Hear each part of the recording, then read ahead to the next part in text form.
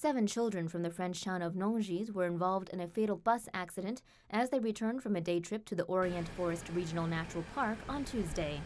The children boarded a Renault Trafic minibus for the journey home in the afternoon.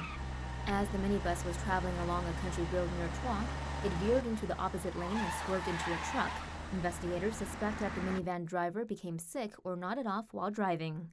The head on collision killed four children and two adults, including a 19 year old worker and the 29 year old minivan driver.